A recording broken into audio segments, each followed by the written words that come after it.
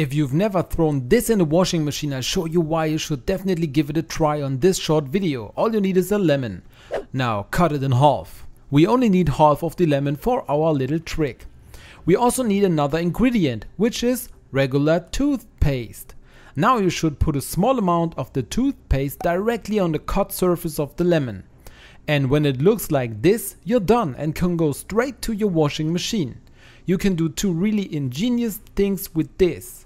In the first step we take care of the window pane because it is usually very dirty from the inside as you can see in my case. Now you simply rub the cut lemon and the toothpaste over the entire pane. In the end it's looked like this, but the whole thing can also be useful for the inside of the washing machine, because even that gets dirty or starts to smell bad over time. To do this we now throw half of the lemon with the rest of the toothpaste into the washing machine, close it and start it in a short wash program without laundry. This will get the washing machine completely clean again, both the window we just greased and the inside of the washing machine. The washing machine will also smell really nice afterwards. When it's done remove the lemon again. You might have to wipe the window with a damp cloth and then everything will be really clean and shiny again.